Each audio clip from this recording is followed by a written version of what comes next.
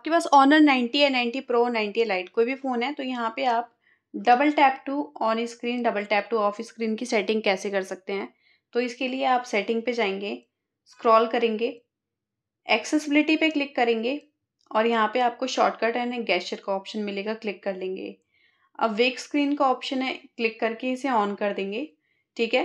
ये आपका double tap पे काम करता है आ, स्क्रीन और वेक स्क्रीन कर देंगे तो आप फ़ोन को ऐसे उठाएँगे तो स्क्रीन की लाइट जल जाती है मूवमेंट होते ही। ठीक है? तो ये मैं सजेस्ट नहीं करती डबल टैप आप ऑन कर लेंगे। अब यहाँ पे आप स्क्रीन पे डबल टैप करेंगे तो स्क्रीन की लाइट आपकी ऐसे करके ऑन हो जाती है। ठीक है?